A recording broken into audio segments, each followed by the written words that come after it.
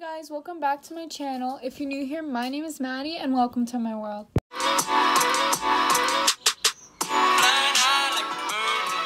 Yeah. Mm.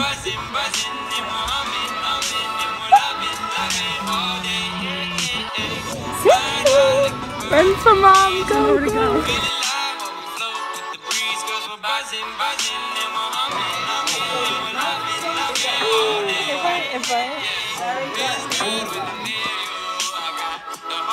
Okay guys, so since the iOS 14 came out, today's video is going to be a iPhone 11 phone tour. Um, I've had this phone for about a year now, and yeah.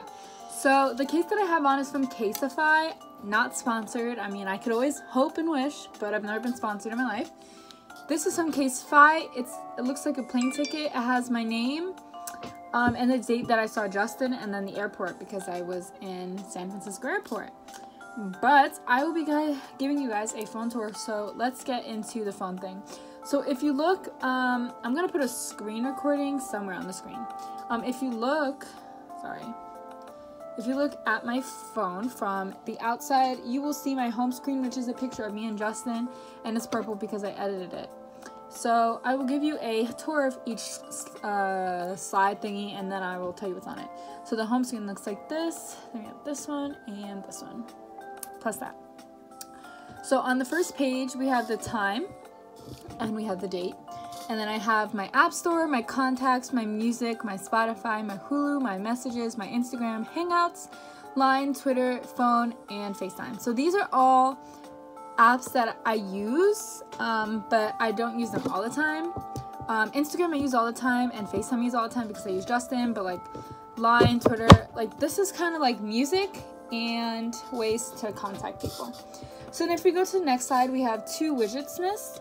Um, we have one of me and Justin, and then we have an alternating one that changes pictures.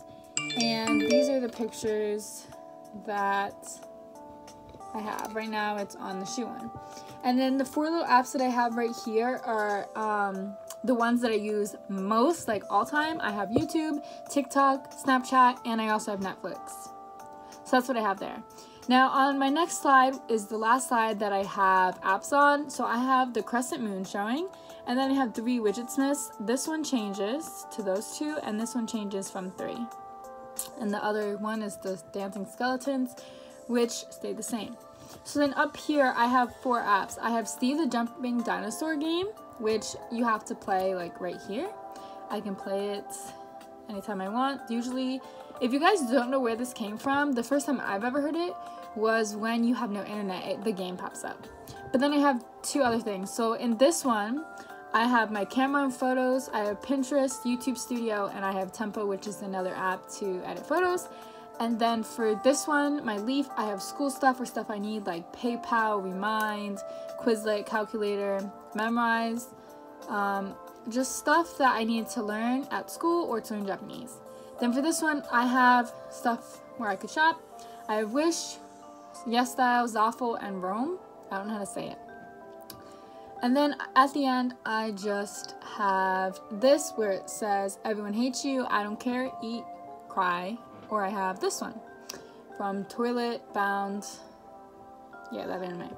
So then um, I only have three other little things, which is my settings, my Safari, and this. This one is just apps I use the least. I have Health, Find My iPhone, Docs, Gmail, Amazon, KO Talk, Widgetsmith, Widget Colors, Telling Me, Telling Me, I don't know how to say that, Shortcuts, and Photo Widget. So basically over here, I have all my apps in total, but these are just the normal ones because I took Shortcut and I edited them. So here they are, just all my apps. And then on the other side, I have my music, my notes, my phone percentage, and the game, like I said.